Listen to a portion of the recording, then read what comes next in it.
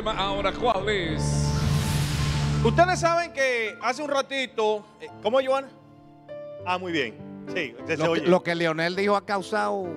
Yo quiero, yo lo puse en principio, pero me gustaría poner Ahora, 10 qué segundos. cachaza, No, ¿eh? pero, espera, no, pero. Y en los gobiernos de Leonel y del PLD no allantaban mucho.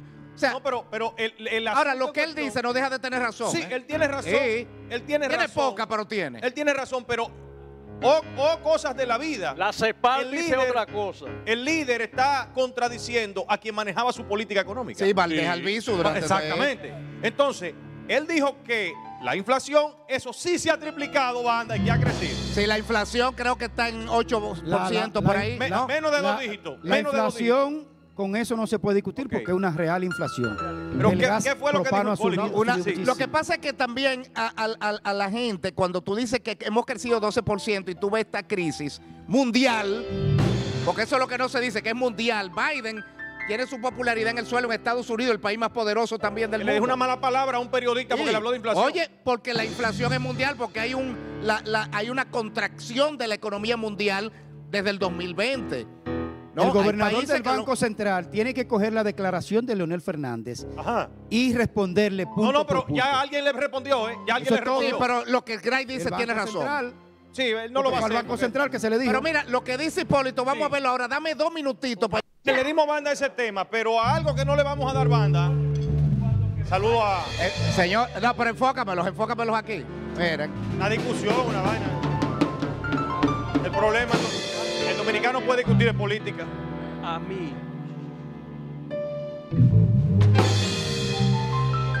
No, pues hagan, hagan su esquina ahí. ¿Eh? Programa paralelo. Por eso que viendo el Raymond y. Miguel, tú me Amigo entiendes, lo tienen en las cuatro esquinas. Estamos haciendo esquina en la esquina de René. Entonces, Va- vamos a poner en contexto sobre lo que dijo el Leonel Fernández. expresidente Fernández había asegurado que se están maquillando los números de la economía y que lo que ha crecido realmente es la inflación. A lo que, Yo creo que han crecido las dos. gracias a Dios, la inflación no ha llegado a dos dígitos todavía. Por suerte, esperamos en Dios que no sea así. Ayer es que sí. El Eh. gas propano ha subido demasiado. Y la gasolina también. Ah, y los combustibles han subido, han, han Los aumentado bastante. alimentos Y- muchos todo alimentos. ha subido. Muchos No, no, no. alimentos. Oye, hay una no. inflación evidente. Quien Sí, quiera negar señor. eso, Es imposible ¿tú me entiendes? ¿eh? No. Es que es imposible Hay negar una eso. inflación evidente. Es imposible. Y ojo, yo siempre lo he dicho, y fuera peor si se estuviera robando como se robaba antes. Porque aquí la, la corrupción ha disminuido. Ahora, el gobierno tiene que manejar con más inteligencia la economía. Porque esto no es nada más. el PLD siempre hablaba de la macroeconomía. Y este gobierno lo- que era oposición decía, pero no es macro, y los chiquitos. Lo que yo Hay que pensar en los chiquitos también. están sufriendo Lo que yo sé, Ah, que los chiquitos que están sufriendo Lo que yo sé es que Hipólito no es el que le debe responder a lo planteado por Leonel ¿Pero qué dice él? Espérate. Vamos a Es- escuchar lo que Vamos a escuchar Es lo el que Gray dice que gobernador. no. Es A- el a- A, gobernador contrapelo de lo que dice Gray, vamos a escuchar lo que dice Hipólito. Sí, Vamos a adelante. Ahí les dejo. ¿A cuánto ascendió la inflación en el año 2021? Un 8. Ok, ok, pero, okay, pero está bien que pusiera lo de Leonel, pero es lo de Hipólito. ahora. Exacto. Vamos, vamos. Pon- Pónmelo al principio. Al principio.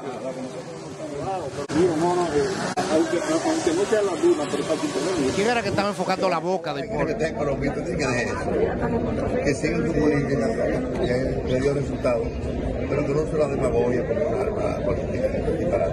Él no sabe de eso, ni su gente sabe de eso. El gobernador que era que tenía, que tuvo que desautorizar una o dos veces. Pero esos números son realidad. El crecimiento de la economía en este país ha sido analizado por los organismos internacionales. No es bueno la demagogia. Po- Porque mira lo que se plantea. Desde bueno, el- la oposición aprovecha y capitaliza. Lo que pasa es que Leonel dice que se está comparando con el 2019. Sí, pero él dice. No, o sea, perdón, que se debió comparar con el 2019, no con el 20, Exacto. donde hubo una contracción económica. Lo que él Eso no existe en sostiene, materia lo que él económica. sostiene también es que lo que ha aumentado es la inflación y que los números son maquillados. ¿Qué dice Hipólito? Que el expresidente no sabe de eso.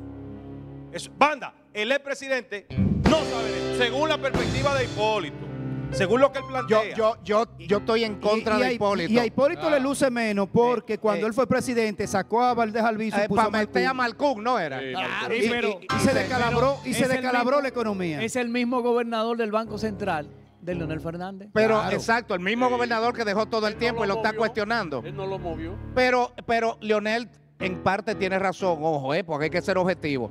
Y ustedes, tú dices que Hipólito no que Leonel, Hipólito dice que Leonel no, sabe, de eso. Pues no miren, sabe de eso. Hipólito, ¿usted, se- usted quiere que le diga algo? ¿Usted quiere que le diga algo? Don Hipólito es peor. Leonel sí sabe de eso y sabiendo no resolvió muchas cosas. El show sale para todos. Madre mío, eso me dolió, Iván. Saber y no hacer. ¿Qué pasó ahí? No entendí. Si usted entendió lo que dijo Iván, siga viendo la tele. En realidad que en breve trata el tema de las dunas. Tema delicado y otro tema en pantalla. De esto hablamos cuando regresemos.